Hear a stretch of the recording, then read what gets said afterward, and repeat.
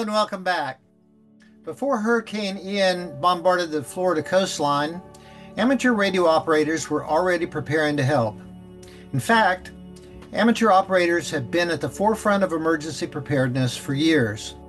Our go bags can sustain us for up to 72 hours or more and provide vital communications for emergency operations, rescue crews, and municipal governments. Once licensed, you can serve humanity in ways that you've never even imagined. Are you ready to learn? Well, let's get started.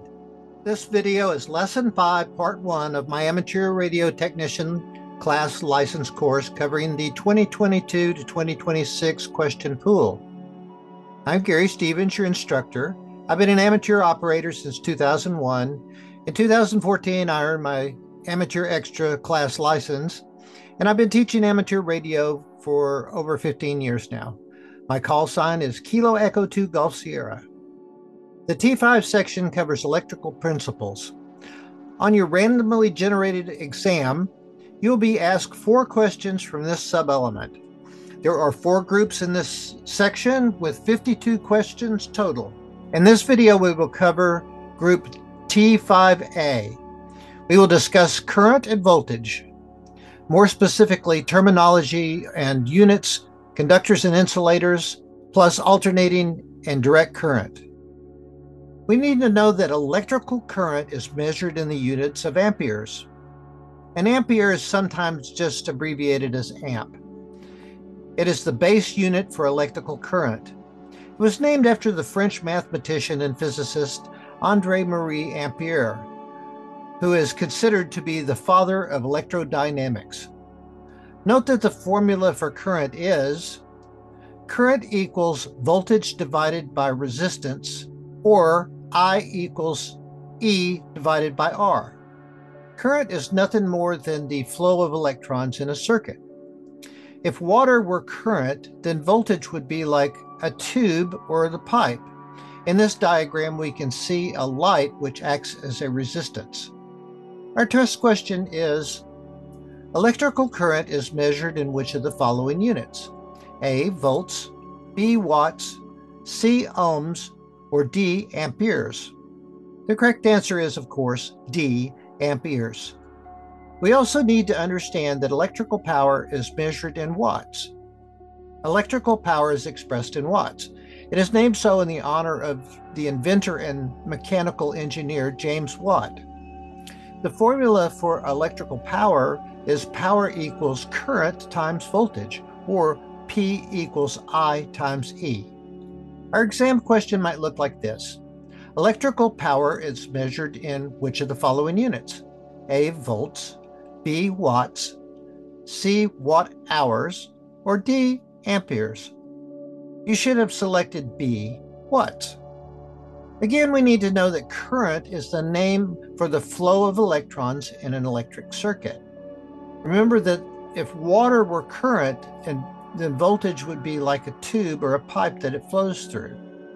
Our exam question reads like this What is the name for the flow of electrons in an electric circuit? A. Voltage, B. Resistance, C. Capacitance, or D. Current? The answer is, of course, D current. You should learn that ohms are the units of electrical resistance. The unit is named after George Simon Ohm, the inventor of Ohm's law. Ohm's law states that current flowing in a circuit is directly proportional to the applied voltage and inversely proportional to the resistance. You don't need to remember that verbatim. Just know that an ohm is a unit of resistance. Our test question is What are the units of electrical resistance? A. Siemens, B. Mhos, C. Ohms, or D. Coulombs? Did you select C. Ohms? If you did, you're doing great. We need to remember that voltage is the electric term for the force that causes electron flow. A volt is the basic unit of electrical pressure, or EMF. EMF stands for electromotive force. It is named after Alessandro Volta, who invented the voltaic pile, which is the forerunner of the current day battery. Your exam might have this question What is the electrical term for the force that causes electron flow? A. Voltage. B. Amp hours, ampere hours. C. Capacitance. Or D. Inductance. The answer is A. Voltage, as you probably guessed. We should know that Hertz is the unit of frequency. The unit of frequency is named after Heinrich Rudolf Hertz. He was the first to conclusively prove the existence of electromagnetic waves as predicted by James Clerk Maxwell's equation of electromagnetism. On the exam, you might see this question What is the unit of frequency? A. Hertz, B. Henry, C. Farad, or D. Tesla? We should know that the correct answer is A. Hertz. Understand that metals are generally good conductors of electricity because they have many free electrons. In physics, a free electron is one that is not attached to an atom or a molecule and is free to respond to outside forces. Metal has free electrons, making it the ideal conductor of electricity. Your test may have this question Why are metals generally good conductors of electricity? A, they have a relatively high density. B, they have many free electrons. C, they have many free protons. Or D, all these choices are correct. The correct answer, of course, is B, they have many free electrons. We should also understand that glass is a good insulator. Here we can see insulators used uh, for amateur radio antennas. Materials with low electron mobility are called insulators. In other words, they have few or no free electrons and do not conduct electricity. This question might be on your exam. Which of the following is a good electrical insulator? A. Copper, B. Glass, C. Aluminum, or D. Mercury? The correct answer is B glass. You might already know this, but just in case you don't, current that alternates between positive and negative direction is describes alternating current. This slide shows an alternating current wave as it oscillates between positive and negative. This is called the sine wave.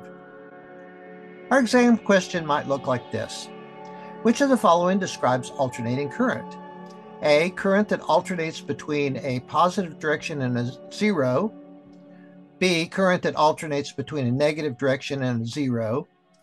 C, current that alternates between positive and negative directions. Or D, all these answers are correct.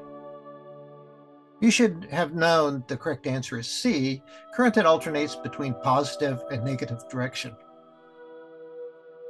it would behoove you to know that power is a term that describes the rate at which electrical energy is used.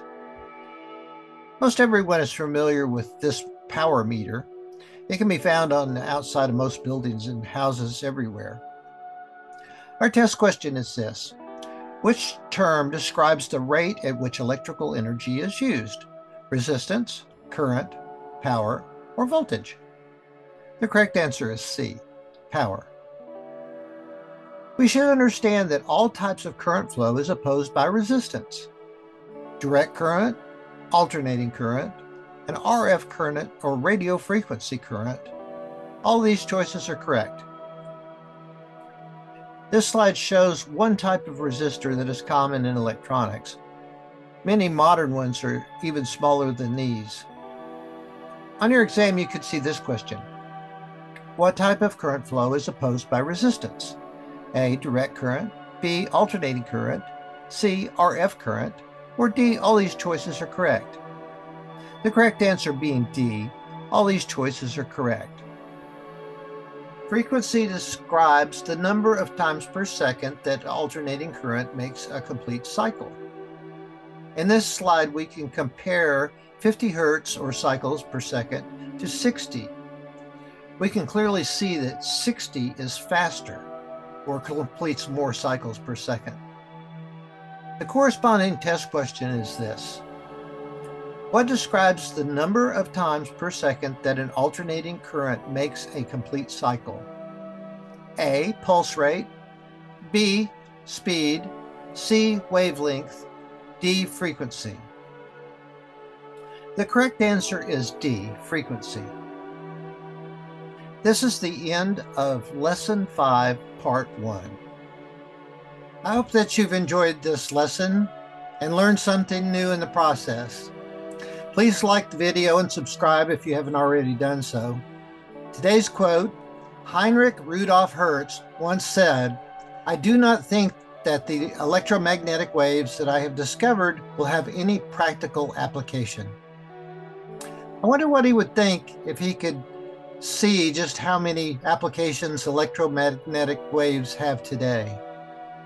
Until next time, my friends, never stop learning.